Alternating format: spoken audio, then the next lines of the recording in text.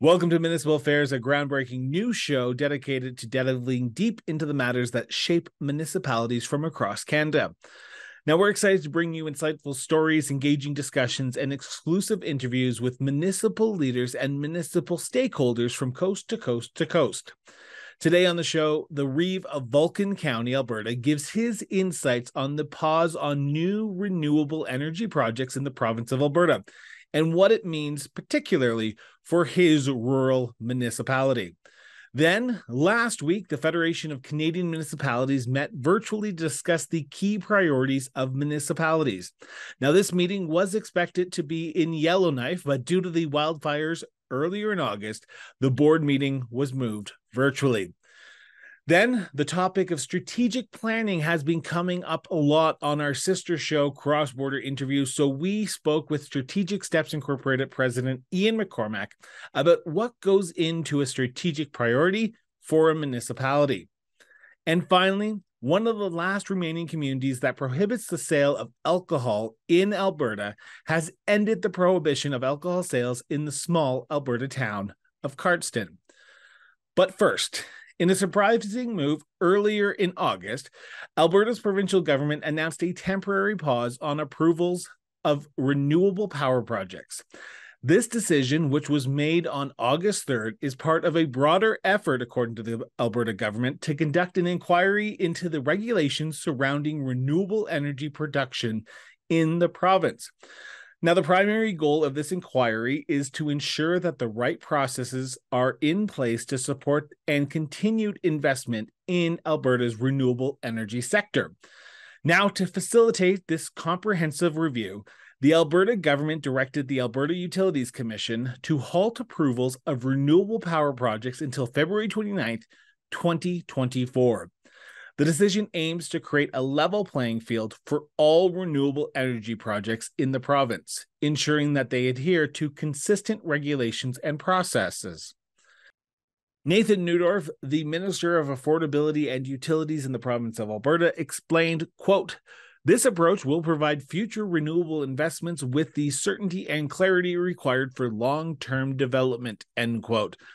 Now, the pause in approvals is seen as a necessary step to streamline regulations and promote a stable environment for renewable energy investments in Alberta. One region in Alberta significantly affected by this temporary halt in approvals is Vulcan County.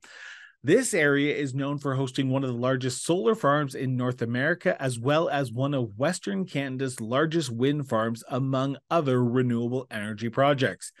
Now, the pause on approvals has raised questions and speculation within Vulcan County, prompting local leaders to reflect on its implications for their communities. Now, today we had the opportunity to chat with Vulcan County Reeve, Jason Schneider, to gain insights into the county's perspectives on this development and what they will hope will come from the regulatory review as Alberta grapples with the balance between renewable energy expansions and regulatory oversights, Vulcan County stands at the forefront of this critical conversation. Reeve, I want to thank you so much for doing this. Greatly appreciate it. Um, I, I want to start with the basic question here, and I apologize to make it sound like a two-year-old's asking the question, but I think I need to to set up the context of where Vulcan County is coming from about their uh, their their stance on the pause of renewable energy uh, projects in the province of uh, Alberta today. Um, where does the county stand on this pause? Well, we're we're very happy that the province is uh, taking a deeper look at uh, some of the issues. Uh, the wind and solar industry has um, it's really moved very quickly for an industry. Over the last 10 years uh, the scope and the scale of these projects has just absolutely exploded. So uh, there's definitely been some uh, issues that we've been uh, asking questions about with the province as well as the ratepayers in our area. So uh, we are happy to hear that uh, you know they are finally taking a step back and trying to uh, uh, look at you know some solutions to make sure that this this industry is long term viable in southern Alberta. Um, you know, we, we, we weren't advocating for a six month pause. I know that that does put some pressure on on some developers who are you know mid project or just about at that point of putting in an application. But uh, I, I, think from everything that we've heard from the province, I, I understand why they've they're doing the pause, but uh, we're you know obviously we're, we're hoping that we can we can get this uh, this pause over with and it can go back to business and we can keep uh, you know we can get some of these projects off the ground, uh, especially the ones that that really are beneficial for the uh, for our community correct me if I'm wrong here, but I, I, believe the biggest issue that you had and the reason why you were so adv- uh, you were advocating for uh, the change in legislation was the reclamation part of the scenario, and that would probably be the big thing I want to talk about a little bit here. Um, you have seen through other rural municipalities about the reclamation process when it comes to the oil and gas sector and how municipalities are left holding the bag and left holding the uh, not with the money that they need from from oil and gas companies. Is it similar what you're asking for from the renewable energy sector as well to say we want you here. We believe that vulcan county has a place for you here but we need some safeguards to make sure that our residents aren't holding the bag yeah that's that's a great way to uh, to phrase it. Uh, pretty much every resource extraction uh, um, industry. It's the, the the way in Alberta we kind of do it is you know uh, bankruptcy is the cheapest reclamation plan, right? You you uh, you, you, you, you mine it, you, you pump that well as long as you can, and then you you sell it to a shell corporation, and then magically that shell corporation uh, goes bankrupt, and then yeah, it's it's the municipality and it's the taxpayers, it's it's the local taxpayers, it's the provincial, it's the federal taxpayers that are now now cleaning up a mess, and and uh, you know that's that really doesn't sit well uh, even with the residents in our areas. Uh, you know, if you're going to profit off Alberta's resources, whether that's you know wind, solar, gravel, uh, oil and gas, doesn't matter what it is. You, you need you need to have those uh, mechanisms in place to uh, clean up when you're done.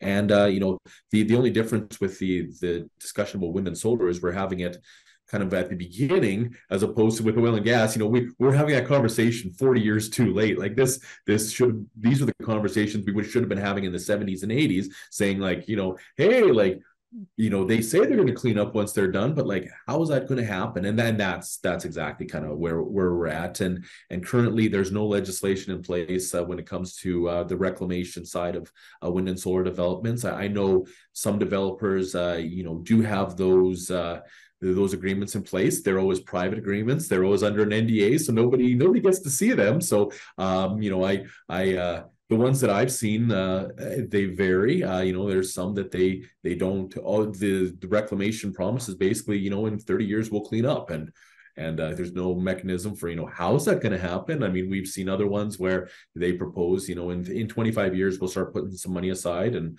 you know that starts to you know kind of go oh, i don't know. Like is that really are you going to clean up? And and I, I understand that you know the from the industry they're saying well this is a private agreement between private landowners you know this doesn't concern municipalities.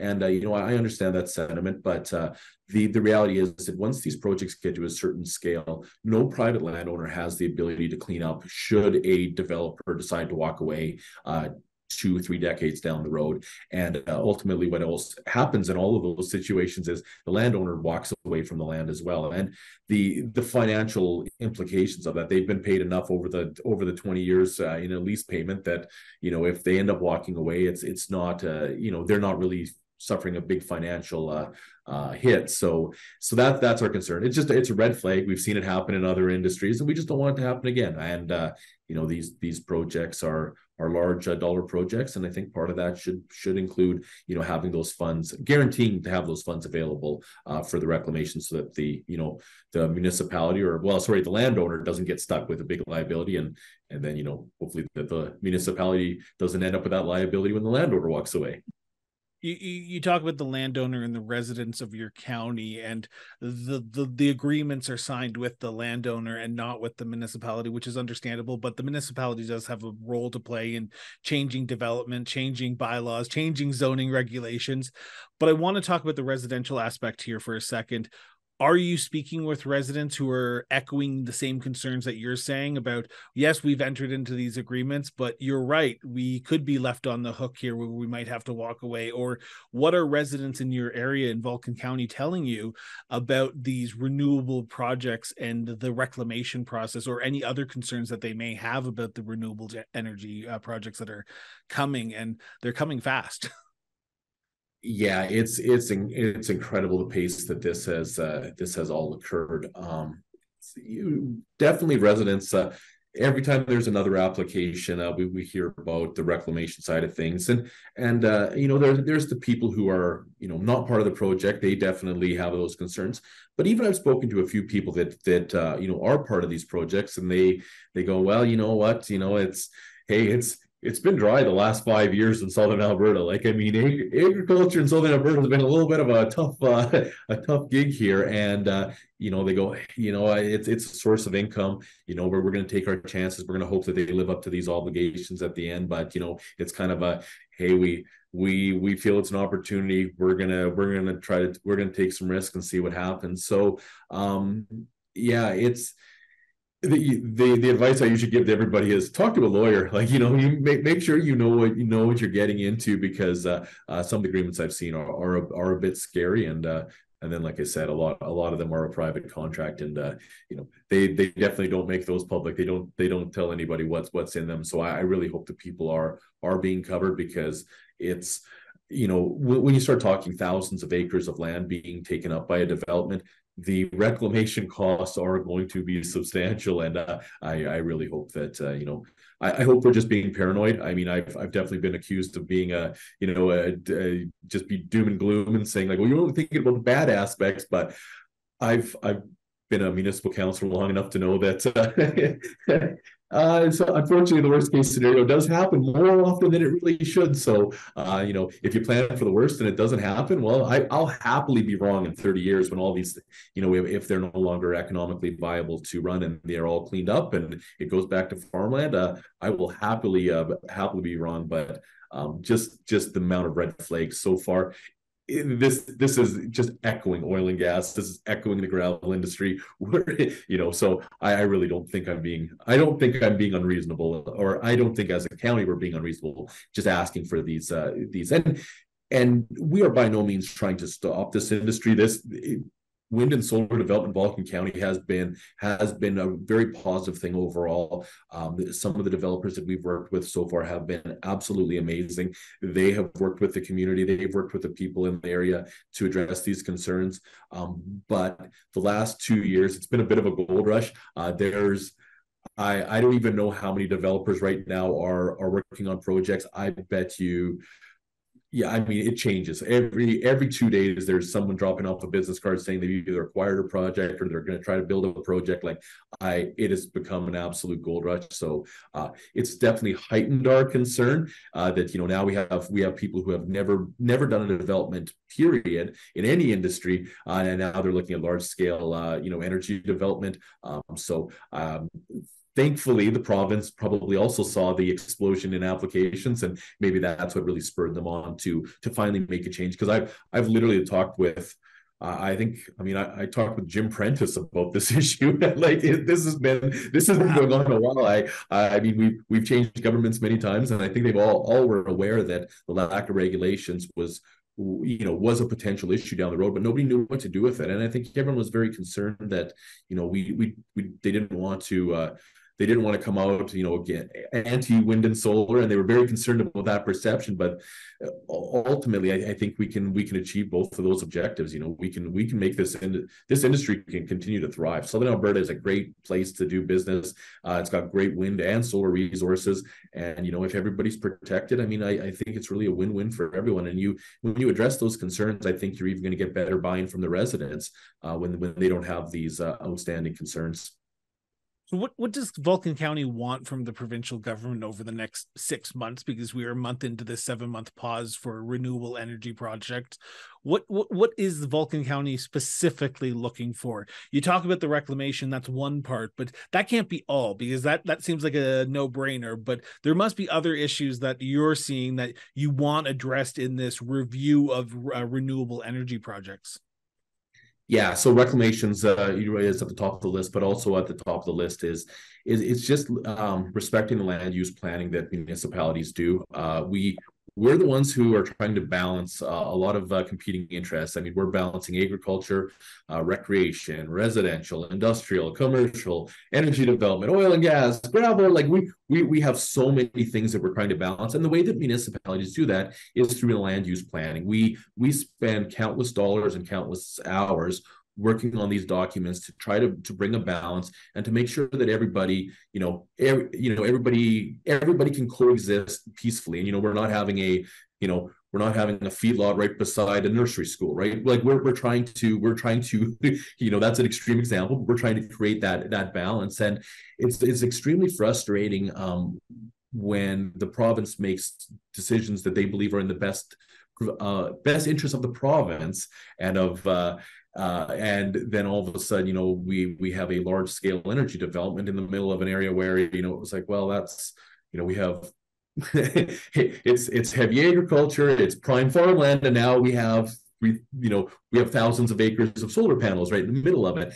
And so the the the request really is that we we need to we need to be at the table when when these decisions are being made and and making good decisions because i mean we've seen examples of we have we have projects that they need 30 kilometers of transmission line built to them and you know you go well wouldn't wouldn't a reasonable person go here's an idea why don't you move it 30 kilometers closer to the transmission lines other than having to build 30 kilometers of transmission lines. And then the fun fact in Alberta is us as uh, taxpayers, we pay for those transmission lines. Those those aren't built by the developer; those are paid for by Alberta taxpayers. So it, it's those it's those little nuances that nobody really thought about. I mean, nobody nobody expected to have you know 100, 200 400 megawatt projects uh, out in the middle of Vulcan County. So uh, it's just those things that we we we need a little little better of a voice. Uh, right now, we're kind of brushed to the side, and it's kind of given the don't worry, the province knows what they're doing. We got this. Like you know, you guys just sit back and watch, and and we're on the ground going like. I think you got this. Like I think you, I think you're kind of uh, scrambling here. So, um, yeah. So really, it's it's it's wanting to be part of it because we we want them to be successful. I mean, we the thankfully the developers that have done the large projects here in Vulcan County, which uh, largest single site uh, wind installation and largest solar project in Canada, the developer was extremely uh, willing to work with the county and willing to work with residents to address those concerns. You know, make let's make sure it's near transmission. Let's make sure that we don't have to build roads. Let's make sure we're not running by people's houses at all hours of the night, hauling you know a million solar panels. And like they they checked all those boxes, and it was great.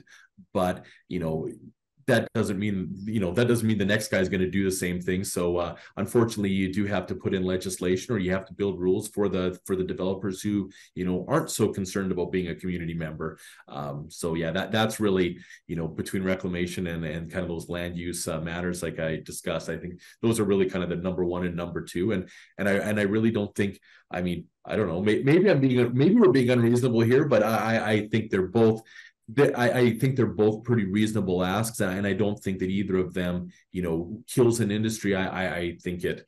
I think ultimately, if nothing, it actually helps the industry long term as much as they might not agree with me right now is you know if you can get the public on side with these projects these projects go so much more smoothly. When when it's a fight and it's an appeal and there's lawyers involved these projects turn absolutely into a gong show.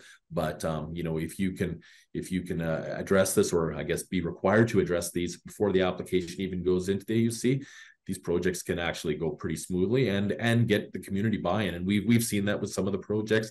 We've seen uh, we, we've had people show up to talk in support of projects which people just don't do. You know when there when there's a planning decision you know the people who are angry show up but the people who like it never show up. And and literally we've we've had ones that the community got so invested into a project that they were you know they they were showing up to remind us that uh you know this they they really wanted this and these guys had done done right by them I have two last questions, and I, I, I'm going to ask the political question here first. And I apologize for putting you on the spot here, but we are over a month into this pause. Uh, the provincial government said it's going to uh, review and look at uh, the areas, the legislation. Has anyone from the province reached out to Vulcan County to discuss their concerns with them? Uh, not not directly at this point. Uh, um, we we have had contact with the uh, AUC, just kind of checking in to see how to, to make sure that uh, we're being contacted, being, being a little proactive, and and they, they're just kind of working through that process of how they're going to do that consultation. So uh, I guess uh, we will see, but uh, I, think I think that as a municipality, we have a lot. To, we have a lot to offer. Um, in the last ten years here, uh, we've seen some of the largest developments uh, in Canada be done in our borders. So, um, you know, we've learned some lessons, and uh, we've we've been successful. Uh, and so, I think we have. I, I think we have something to add. So, uh, I, I, guess maybe our approach is we're we're, we're going to keep knocking on the door and uh, and make sure that we're part of this, as as I think industry should too. I I, I fully think that if, you you you know you need all the perspectives there in order to come up with some some good uh, legislation my last question is about the people. The residents of your community probably rely uh, on some of these projects whether it be for work whether it be through business opportunities because if when a development comes in they hire local and then therefore it spurs the economy. This pause is probably kind of pigeonholed the county a little bit not a lot but probably a little bit in some of the businesses that it's going that's going on in the community. Uh, is seven months too long for the county to sort of weather this uh, pause no, I I mean the, the reality the reality is that uh, these projects I mean these take mul- multiple years to to do. I mean I I think most are four to five years from from planning concept to actually being uh, into production uh, and a lot of that has to do with supply chain i mean if you you know you to to build a million and a half panels you know you you you, you know you got to be you got to be planning ahead so uh, i of, of all the projects that are are uh, in progress here uh, this doesn't actually uh, to my knowledge, it hasn't affected any of them. they are all they are all still working towards that. a lot of them already do have that AUC approval, and then I mean from the time you get the AUC approval, I mean, you've still got multiple years before you're actually in uh, progress. Uh, and then, then the other thing is like we probably have seven projects that are approved and haven't broken ground yet. So they're all kind of waiting for you know either an investor or waiting for the supply chain to catch up. So um, i don't I, I, don't see it really having uh, it, it hasn't stopped any projects uh, uh, to my knowledge. Um, but uh, yeah it, the ones the ones that it impacts are the ones that are you know we're you know two weeks from uh, you know pressing the send button on the application you know now they have to wait seven months for an approval. But um, once once again the AUC did make that uh, that new change here with uh, with their directive 007 and uh, it's it's actually allowing them to go through the whole process. They just won't get a yes or no until uh, uh, you know this I guess six months from now. So um, so I guess time time will tell but uh, so far I haven't had anybody you know call up and say hey this killed our project. It's most of them are you know most of them are still you know trudging along and uh and uh fall, going through the process. We uh we've even got some that are still scheduling open houses here in the next little while. So it, it does seem like they are they are uh they are continuing down that path. And uh i guess they're they must be somewhat optimistic that you know the rules coming in uh you know won't won't kill their project uh, because they, they are spending still spending money getting the project uh, going Okay, I know I said that was my last question, but you just said a word that I want to pick up on here for one second. You said optimistic. Are you optimistic that this review, this pause, is going to uh, identify and change the legislation that will benefit the Vulcan County and communities and residents uh, when it comes to the reclamation and the by uh, the land use? I am, uh, and that's uh, it's hard to be optimistic. I, have been a counselor now for 10 years. I've dealt with uh, uh, multiple different premiers uh, and, uh, you know, different governments. And uh, I've had my heart broken many times, but I am very, I am very optimistic though. Um, I, have had the opportunity to, to um, meet with uh, Minister uh, Nathan Neudorf as well as uh, be at a few meetings where he's uh, spoken on this, and and and I, I I think that he really is grasping some of the issues. And this is complex. This isn't. This is. There are so many moving pieces in this thing. This is. This isn't a. This isn't a thirty second soundbite. This is a you know an hour long conversation on this, and and I I think he really does grasp that, and I think he understands why this is important to to get this right. So uh, I'm I'm more optimistic than I probably normally am, and uh, and uh, you know, I, I really hope that they they do get this right because it's important. It's important for the industry. It's important for municipalities. It's important for all Albertans. So it's a it's a big task, and uh, and uh, you know, I I, I think that uh, as a minister, he's uh, I think he he's up to the task uh, from from all the conversations and and what I what I've heard from him. So Reeve, I want to thank you so much for doing this, sitting down and taking time out of your busy schedule. I know I said 15 minutes and we're at the half hour mark, but that's the great thing about this conversation. It's not just a 30 second soundbite, like you said. Yeah, and that, and that's the thing is it's it's such a complex conversation, and uh, you know I, am I'm, I'm happy to have these conversations because uh, you know we we've been very um, fortunate to have some of these developments. Uh, they've they've really uh, as a municipality they've they've literally filled that gap that oil and gas uh, as it went away um, renewables has filled that gap. So we've been very fortunate, and, you know I'm I'm happy to you know to share our experiences and talk about you know what why it's been great for us, but then also talk about you know why we also have concerns. And uh, yeah, it's everybody I talk to it's it's always an hour long conversation, and uh, yeah, my, my wife gets uh, getting frustrated because I'm like, oh, just a quick call here, and an hour later I'm talking about land use planning matters, and but uh, no, it's it's all good. I I, I appreciate you uh, you having me on and. Having this conversation because uh, it well, I will. I will reach out in six months' time once the pause is lifted and see what the follow up and see if you're happy with the recommendations or any changes that they've uh, announced. So, thank you so much, Reeve. You bet. Thank you. The Federation of Canadian Municipalities recently conducted a virtual board meeting against the backdrop of national challenges underscoring the resilience of leadership demonstrated by municipalities across this great country. The meeting began with a reflection of the most recent wildfire crisis in the Northwest Territories, which led the relocation of the Board of Directors meeting from Yellowknife to a more virtual setting. Now, according to the FCM, municipalities consistently find themselves at the forefront of responding to these crises, irrespective of jurisdiction. This reality prompted an important motion adopted by the FCM Board of Directors during the meeting, calling on the federal government to take decisive action.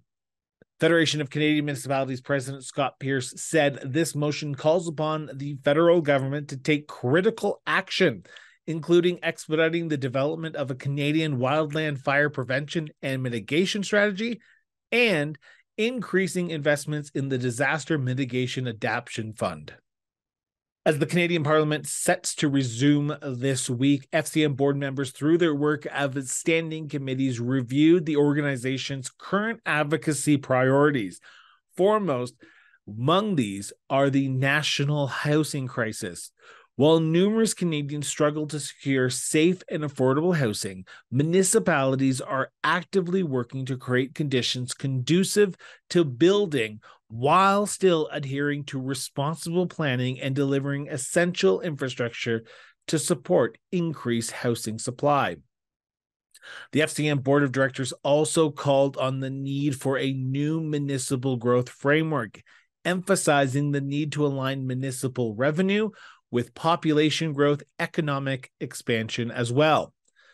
President Scott Pearce is quoted to say FCM board's view that now is the time for a truly national conversation about the future growth of Canadian municipalities and the tools that they need to meet interrelated challenges and opportunities that come with it.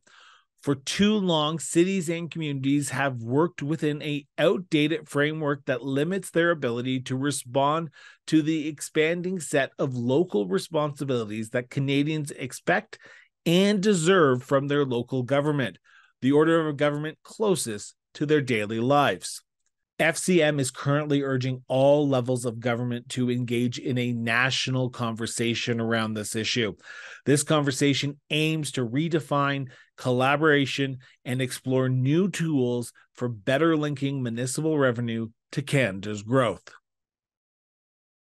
Cross Border Interviews invites you to join our show and share your passion for public service. We want to hear from you about your inspiring stories and insights on how you're making a difference in your community. Join us on Cross Border Interviews, where leaders from across Canada come together to discuss their communities, their commitment, and their service. Let your voice be heard.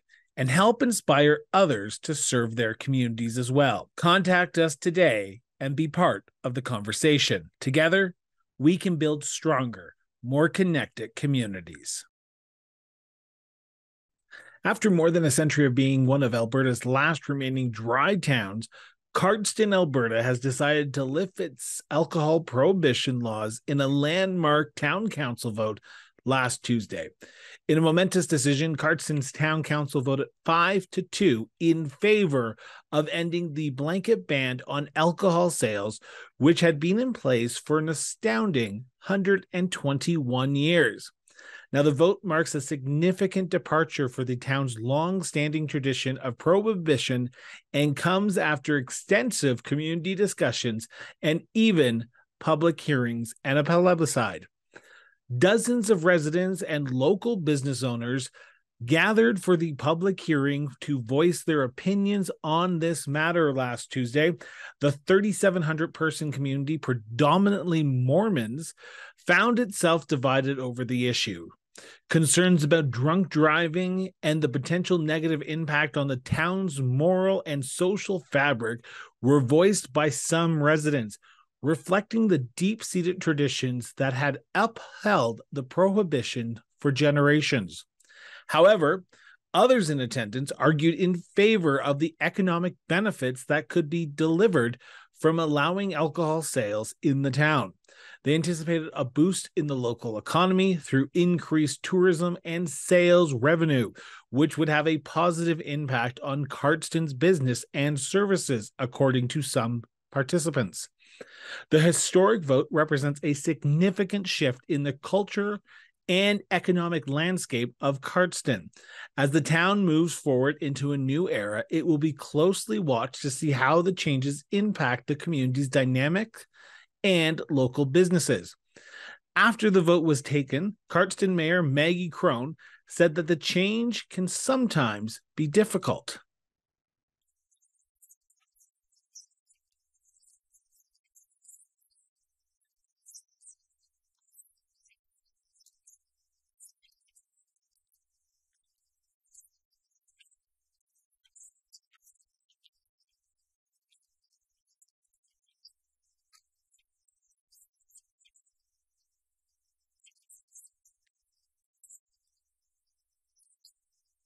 One of the two nay votes came from Councillor Granger, who said prior to the vote that he opposed the vote and his decision didn't come lightly.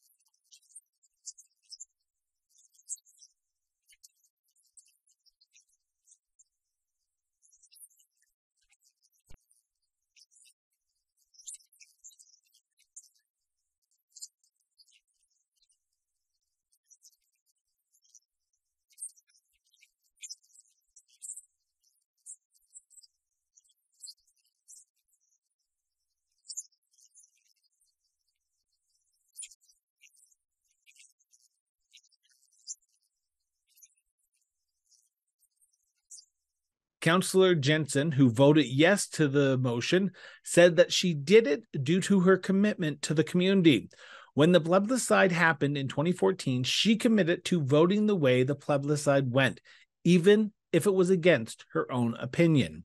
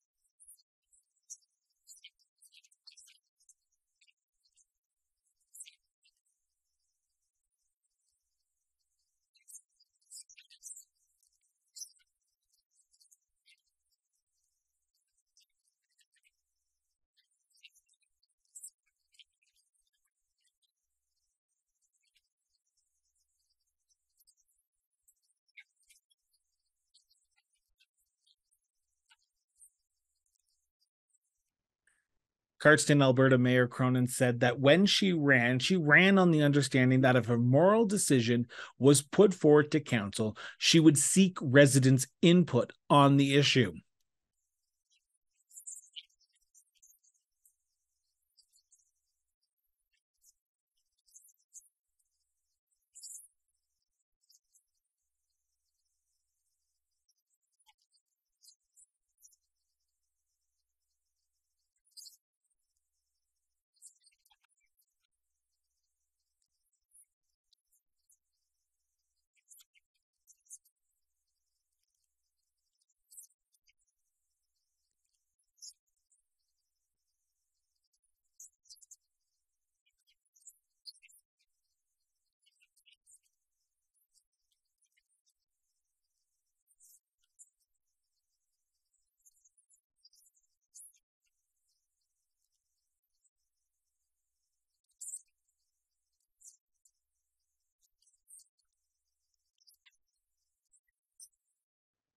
The 5 2 vote was based on allowing liquor services at restaurants and recreational facilities, including a local golf course.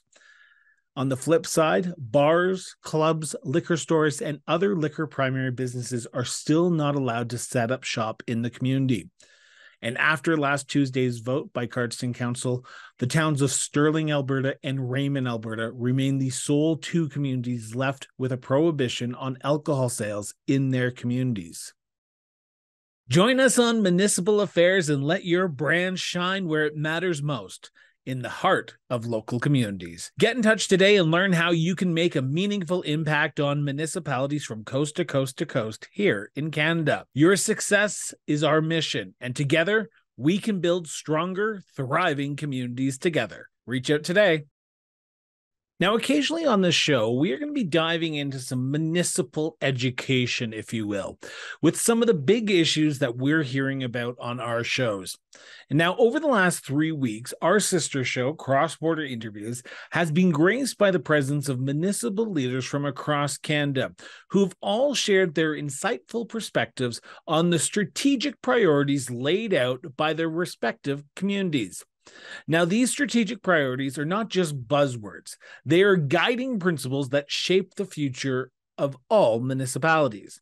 So, today we have a distinguished guest on our show, an expert in the field of strategic planning, someone who can help us dive deeper into the important subject.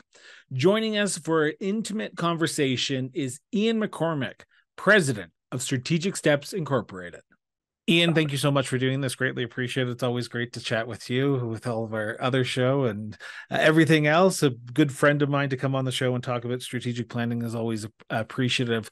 Uh, I want I want to start with the basic uh, question here, Ian, and that is what is a strategic plan? Uh, we're hearing it a lot on the cross border interviews. So I want to get someone who knows what they are and what they mean from someone I can trust. So, Ian, what is a strategic plan? Well, thanks for that for trusting, Chris. It's good to be actually on your show for a, for a change too. Yeah, we do a lot of strategic planning, and uh, a lot. Most of the work we do is strategic planning in the local government realm, so it's quite relevant. The idea of a strategic plan, to me anyway, is a collective expression of the will of the council over the course of their term and beyond. Uh, I constantly tell ask councillors or tell councillors my that my assumption is that they ran for office in the first place because they're on some sort of a mandate for change, whether that's big or small. But nobody wants to keep the place exactly the same, and sometimes they have to respond to crises or whatever gets downloaded to them from the feds or the province or the territory. But really, the expression, the collective expression, is through that strategic plan, and it because because it's public facing, it also provides a little bit of transparency and some accountability for people as well the idea behind the strategic plan, because these people are governors, not managers, is to look a long way into the future. So we're not looking at a strategic plan about what we're going to do next week or next year.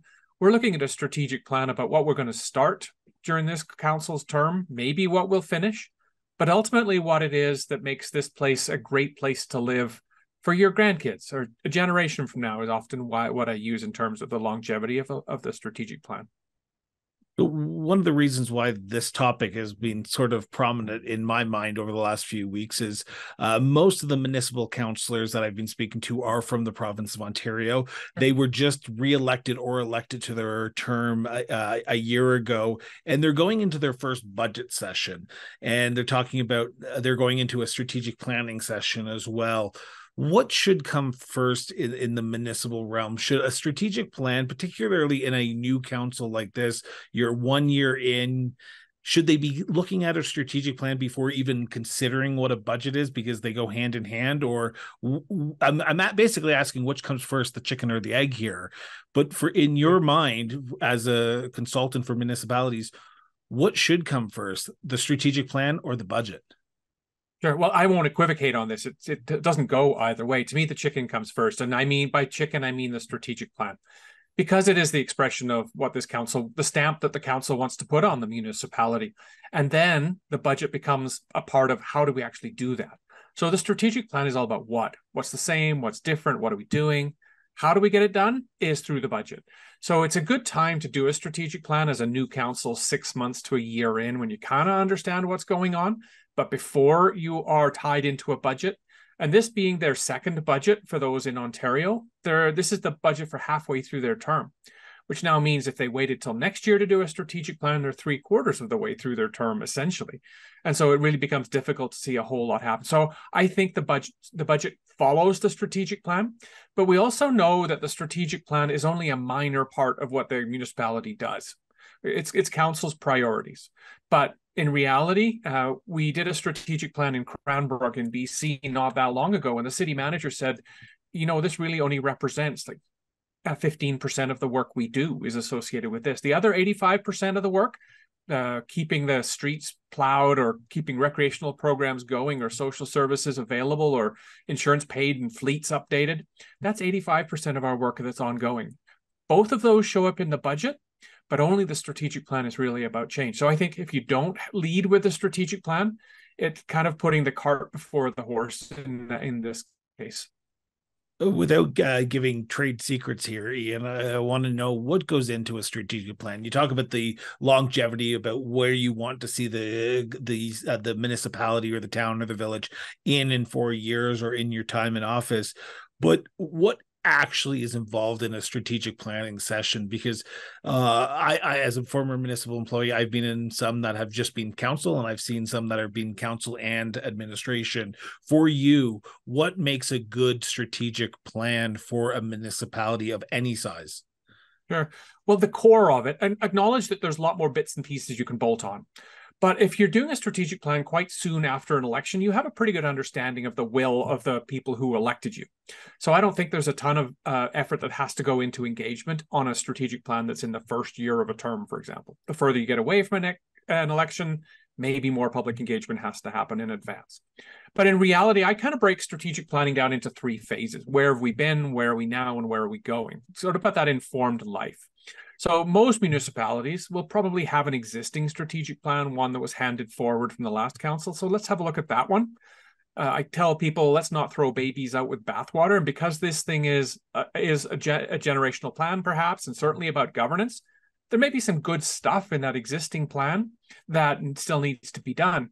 The last council also had to deal with things like COVID, which probably threw their own plan out the window, but it still means that's that work can be done. So the looking back piece, I think, is really important to learn from that, to celebrate it, all that kind of thing in terms of where we are right now, I think it's important to understand the position of the municipality.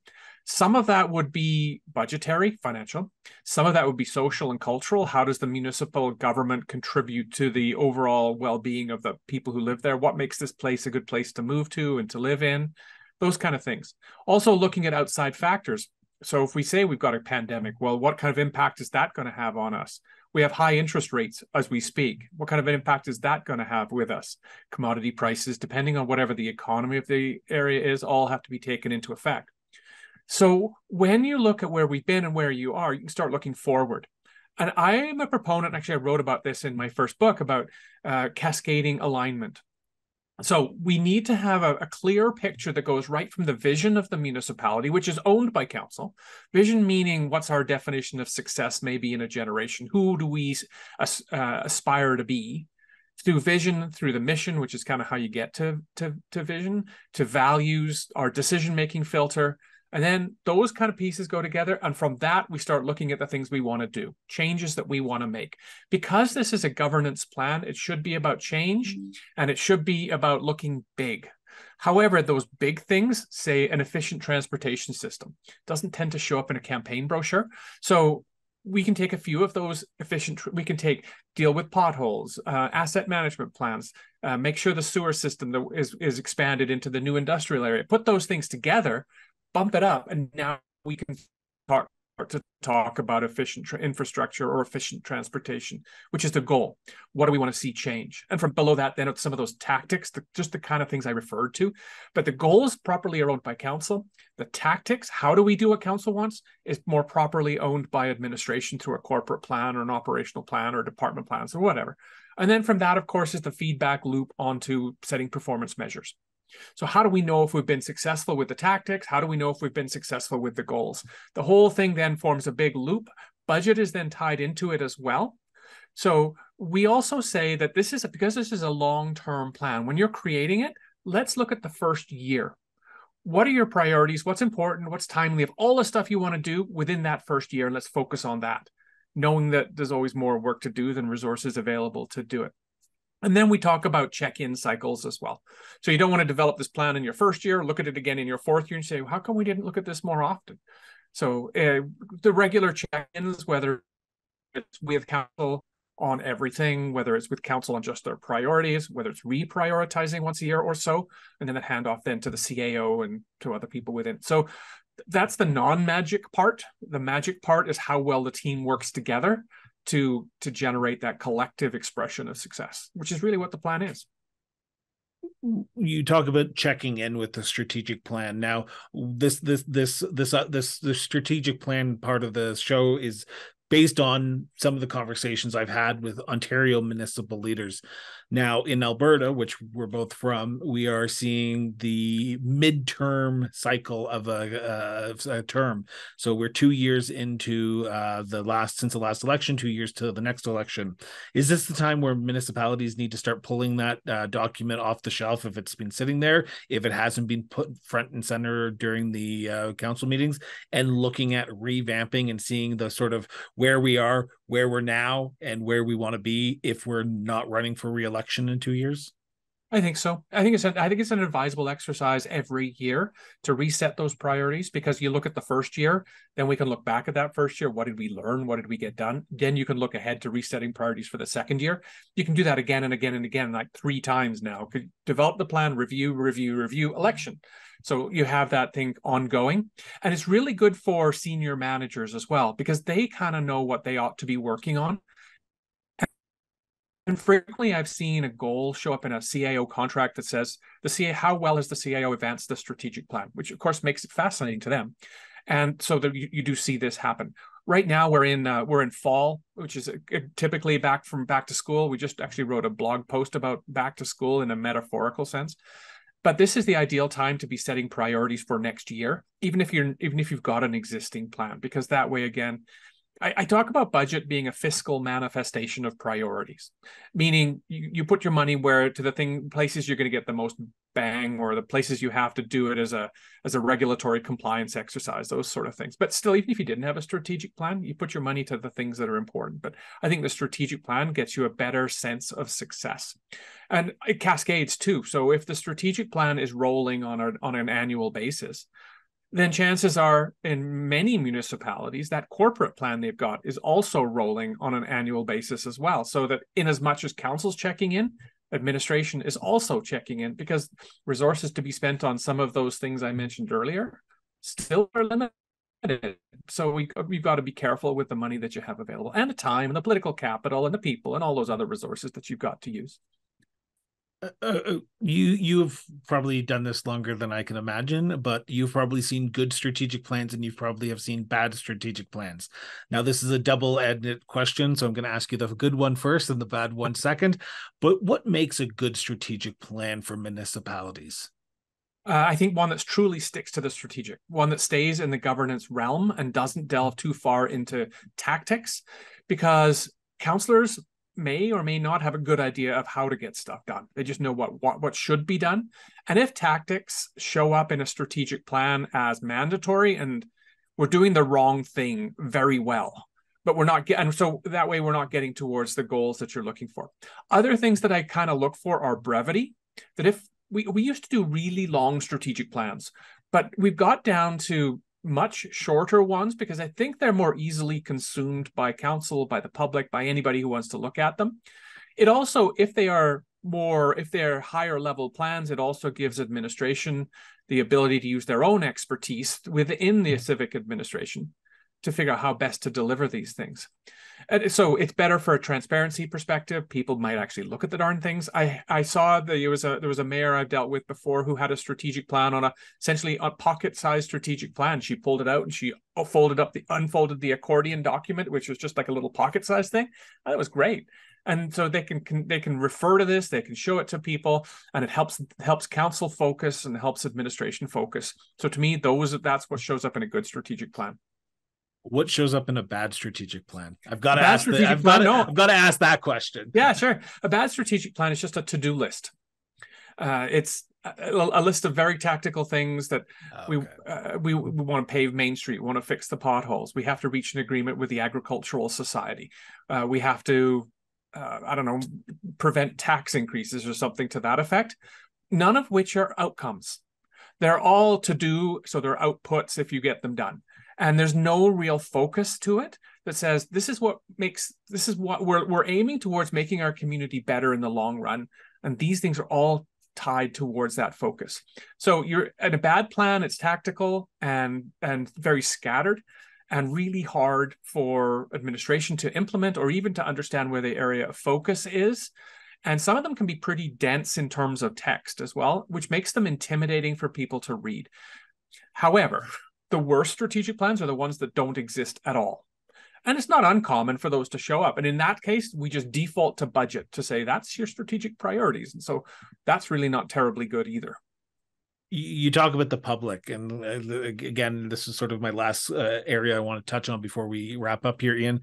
Um, how important is it their public to have public input on a strategic plan? Because council can sit around a table, council and administration can sit around a table and come up with the strategic priorities and the plan for what they believe. But there has to be buy-in from the residents as well, whether that be what they want to see, and yeah. I'm assuming that's a conduit of why they're they've been elected. But is there a avenue for the public input for a strategic plan? So, in terms of whether the public ought to be involved in the strategic plan, if the plan has been created within a year, say, of an election, you've really had a pretty good plebiscite or referendum on what people want. It's up to council to interpret that into is what they want actually what we ought to be doing? And if so, then let's develop a plan around that. The back end of that is we could test the strategic plan, and we have done that too, where we have put up poster boards in the in the rink or had a an open house or a survey to say are we on the right track here So those are ways that you can involve the public. As we get further and further from an election, however, if we're now developing a strat plan in year two or year three, which is kind of late, but sometimes there is a bridge plan to the next council. In that case, there may be a desire for some input. Now, everybody who has input, well, I shouldn't say everybody. Many of the people and organizations who have input are what you might call special interests. It's the library, it's the Chamber of Commerce, it's the Agricultural Society, it's uh, education system, those sort of things. So whatever we get in terms of that sort of engagement, we need to take with a bit of a grain of salt. And council can put their filter, their political filter, their governance filter over top of that. They can take it, they can leave it, they can adapt it. And ultimately it's up to council to own. So it's council's plan. It's not the municipality's plan necessarily. One of the early questions that I ask in a strategic planning process, however, is whose plan is this? Is this just for the seven of you on council? Is this for the corporation of the town of wherever? Or is this a plan for how the local government can have an impact on the broader community? Almost invariably, it's the last one. But and I you your municipality is limited in their impact, but they can still try. And so that's where a lot of times these strategic plans are. So it's not just about what what council wants, it's not just about what the corporation wants, it's more about how do we advance the best interests of this community over the long run. How's how important is it for public to know about the strategic plan as well? I think they should, absolutely should be public documents. When we do strategic plans, and we I think we did 30 in the last year or so. When we do them, uh, we actually present to council a couple of times. We'll usually go to council shortly after the strategic plan session has been done with a very early draft to say, are we on the right track and should we continue? After that, we will get some feedback, we'll make some changes, and then we typically present the final version of the plan, which is often done in a nice graphic design layout, but not always. And so that plan then goes to council, hopefully to say, yes, we, we agree with this. And then the second piece we say to that is, you probably have a public engagement policy or a communications policy. Now, what are you going to do with this thing to, to shine your light from under the bushel? So, I mean, one of the any of the table stakes pieces is to put it on the website so people can get a hold of it. Others have gone out and spoken to it, and the mayor maybe go out to the service clubs or to a parent council meeting at a school or to wherever chamber of commerce or wherever around town say this is what the vision we have for the community in the long run is come with us on this journey. So there are various ways of actually doing that but i do think it's very important that the public at least has access to it. And it's not always the case. I'd say in about a third of the times we do a strategic plan if we went to look at the municipal website uh, a couple of months later we wouldn't find that plan. And i don't think that's a great idea. I do i think for they should actually be posted publicly on the strategic plan sorry on the website and they should be celebrated as well because there's a lot of effort that goes into it. We usually suggest that it's not only council who does this, participates in the process, that senior managers do as well, and sometimes other people by exception, uh, municipal clerk, for example, or if there's a, a, a, fire chief that they want to have involved, or sometimes the head of the the head of the local uh, employees union sometimes is involved too. So those are all pieces that can happen. When it comes to priority setting, however, we also ask the question for all of the people in the room, you guys have helped work on this plan, who should be picking the priorities for the next year? And 50 50, council will say it should just be us because we're the elected reps. Or they say, you know, we all created this plan together. Let's do the priority setting together as well. And the way we do it, we can actually determine what the priorities are for administration, what the priorities are for council, and if there's any difference. Sometimes there is, and sometimes there isn't. So eh, the public does ultimately need to see this, though. I, I do have one follow up question. Sure. I'm going to ask my last one. Um, we, we're seeing a lot of regionalization going on right now and collaboration between uh, municipalities is it important to also bring in neighboring communities to talk about sort of the regional approach for strategic pr- priorities and planning? Or should that be left up to the sort of larger uh, uh, scenario where you actually do a separate strategic plan for your communities that surround you or encompass you yeah, we we do strategic plans for what we call out here regional service commissions sometimes. So water, wastewater, solid waste, emergency services, those sorts of things which are bigger than a single municipality. So we do do those. There's only ever been one strategic plan we have ever worked on that had that in which a council has a, invited an elected official from a neighboring municipality to actively participate. It was a really neat exercise. Uh, I, that person, I don't think participated in the priority sitting setting part of it, but they were there to kind of bring in the uh, the, the voice of the surrounding. In, in, this case, it was a town and the surrounding rural municipality around it had a representative uh, presence. So, be, I, I, said earlier too about the, the purpose of the strategic plan being broad in it's how the local government can have an impact on the community the local government in the town can't have an impact on the local government in the next municipality over. So the plan would not be binding to them. Oftentimes, however, there is a desire right within the strategic plan to say we want to collaborate with our regional neighbors or our indigenous partners or those sorts of other governments and quasi governments that exist. You can't bind them, but you can uh, reach out that hand uh, through the course of the strategic plan. Um, so where can people find out more about strategic steps? Pitch uh, your uh, your company here for a second. Uh, yeah. I know we do we do have our own separate show, the Political Trenches Local Government at Work. Uh, but where else can people find out more about or municipal leaders, CEOs who are looking at potentially setting up a strategic planning yeah. session and are looking for someone like your company to come out and help? Sure. Well, first of all, I tell people we the f- phone calls are free. So if you just have questions, have a and sometimes I've even been asked to come and present the benefits of having a strategic plan to a council. And if it's a virtual exercise, I'm more than happy to do that for 20 minutes or so. But in terms of where you can find us, uh, strategicsteps.ca is probably the best place. Recognizing too that we have people uh, in three different provinces in Alberta, BC, and Newfoundland at the moment. So uh, we can be quite responsive uh, to the to the local needs, and we also understand local legislation as well. So uh, strategic steps probably better. And you also reference the Political Trenches podcast as well. Perfect. Ian, thank you so much for taking time out of your busy schedule to do this. It's always appreciative to sit down with you and chat municipal governments and strategic planning. Yeah, thanks so much, Chris. It's interesting to be on this side of the of the question ans- asking answering cycle as well. So you're welcome. Join us on Municipal Affairs and let your brand shine where it matters most in the heart of local communities. Get in touch today and learn how you can make a meaningful impact on municipalities from coast to coast to coast here in Canada. Your success is our mission, and together we can build stronger, thriving communities together. Reach out today. The democratic spirit is alive and well in Alberta as several municipalities gear up for crucial by elections that will play pivotal roles in shaping local leadership in their own communities. Now, over the next two weeks, communities in various regions of the province will cast their vote in municipal by elections, ensuring their voices are heard and their representatives are chosen. The town of Claresholm is set to hold its municipal by election tonight on September 18th. The electoral event carries significant importance for the town as it will determine who will fill the vacant council seat and mayor's chair and guide local decision makings for the next two years. And also on September 18th, tonight, the village of Bittern Lake will also conduct a by election. Two individuals are running to fill one vacancy on the small village in central Alberta. The municipal district of Bighorn has its by election scheduled for Tuesday, September 19th.